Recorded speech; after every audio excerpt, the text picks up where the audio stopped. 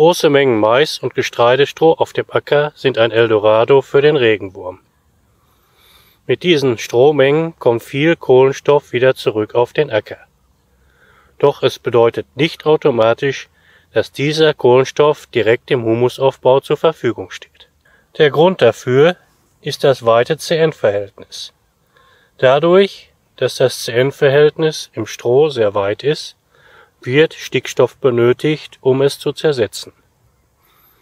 Diese Zersetzung (Stickstoff) muss ja irgendwo herkommen. Und dieser wird von den Mikroorganismen aus den Humusbestandteilen des Bodens dafür freigestellt. In der logischen Konsequenz bedeutet das, dass also nicht mehr Humus aufgebaut werden kann, sondern er nur umgebaut werden kann. Trotzdem ist das Stroh wichtig für den Boden, aber in anderer Funktion. Es ist die Nahrung für den Regenwurm und es ist eine Abschattung und ein Schutz des Bodens vor Witterungsverhältnissen, wenn ansonsten der Boden nur spärlich bewachsen ist. So wird der Boden vor hohen Temperaturschwankungen und starken Niederschlägen und hoher Sonneneinstrahlung geschützt